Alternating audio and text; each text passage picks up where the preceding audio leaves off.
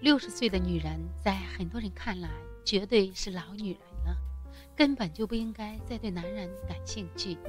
这个年纪再找老伴儿，别人就会认为这女人是不是疯了，是不是给孩子们找不痛快？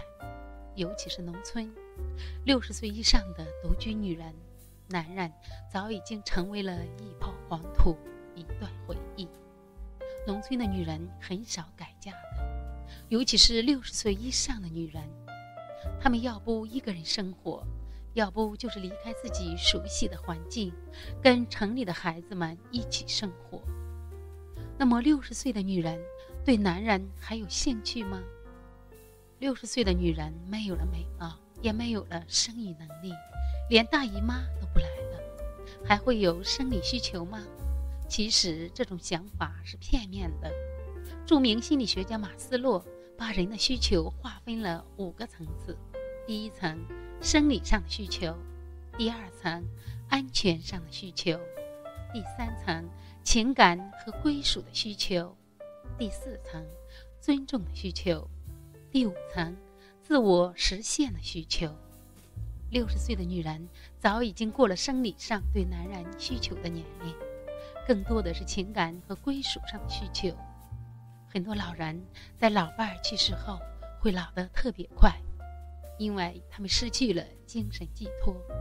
虽然有孩子们，但儿女们给老人的爱是不一样的。当一个人失去了精神寄托，整个人便没有了生活的热情，会很容易垮掉的。我采访了两位女士，我们一起来听听她们的心里话吧。第一位，任女士，六十二岁。我老伴儿在前年肺病去世了。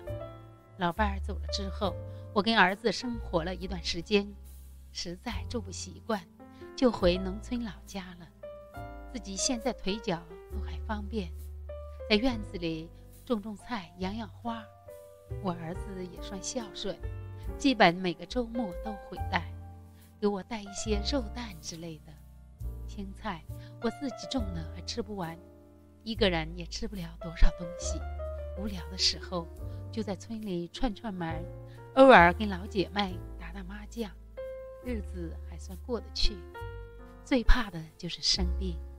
上个月村东头的王嫂走了，听说是心脏病突发，一个人倒在了门口。我就怕自己哪一天也这样无声无息地走了，连孩子们最后一眼都看不到。如果说六十岁的年纪还需不需要男人？我想说，六十岁的女人需要的不是男人，而是陪伴。只要身边有一个伴儿，便不会孤单和无助了。第二位梁女士，六十一岁。我三十八的时候就守寡了，那个时候两个孩子都还小，我守着两个孩子，把家撑了下来。现在两个孩子都成家立业了，我也算完成任务了。我跟我现在的老伴儿是邻村，他妻子早几年也去世了。我们决定在一起也是经过了很长时间的考虑的。毕竟都这把年纪了，尤其在农村，人言可畏。我们能走到一起，是源于老伴儿的一句话。他说：“我们都活了大半辈子了，都在为孩子们而活。”剩下的几十年就不能为自己活一次吗？好在我们双方的孩子都能够理解和接受我们的感情。说真的，到这个年纪了，也不想着男女大事了，就是想身边有个人可以说说话，知冷知热的。现在我们过得挺舒心的。综上所述呢，六十岁女人需要的是一个伴侣，而不是性伴侣。少来夫妻老来伴儿嘛，黄昏恋是应该提倡的。做儿女的一定不要干涉。老人辛苦了大半辈子了，老伴儿老伴儿，年老了就想身边有个伴儿，有个爱自己的人，有个懂自己的人，陪着自己慢慢的变老。您觉得呢？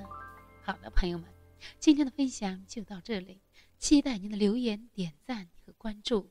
谢谢大家。